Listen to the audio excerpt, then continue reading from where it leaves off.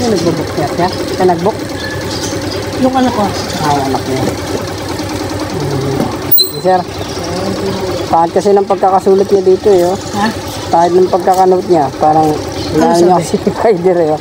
Wag, sa, wag, wag kunin below 4.6. Ah, hindi kasi kuya, ang dami naming ano, yung nagdo-double booking eh, kaso kailangan namin talaga.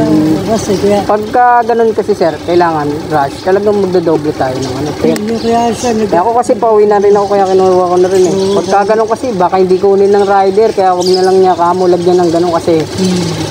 insulto sa rider yung pagka ganun sasabihin, sabihin pa ng rider kasi, ano. Tinata, ang dami, araw-araw kasi kami nagaganyan. Kaya, Hmm.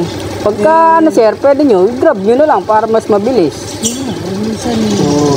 nagdo-double booking sa- Hindi, grab, hindi, hindi na yan nagdo-double booking kasi may monitor yan eh. Bawal kami, bawal kami mag, mag, ano, mag-book ng ano kasi may kita yun sa ano, may monitor kami sa ano, sa apps, pag grab. I-grab nyo na lang para ano. Pagka ganun kasi, pag nakita ng, ng rider yan, sabihin, "Ang yabang naman ito.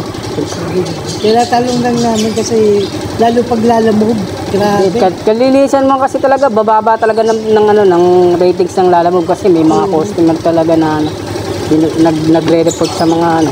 May nagdodo na, halos nagdadalawang, Oo, mababa. nagdadalawang pa rin.